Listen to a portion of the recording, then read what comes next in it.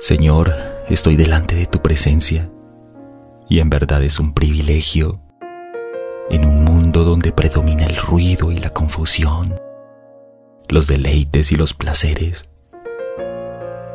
Siento la necesidad de buscarte, Dios, pues nada ni nadie podrá llenar este vacío sino tú. Puedo sentirme solo, pero nunca abandonado.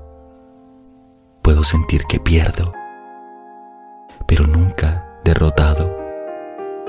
Puedo sentirme en el abismo, pero no caeré. Puedo sentirme cansado, pero tú me restauras. Puedo sentirme en el suelo, pero tú me levantas.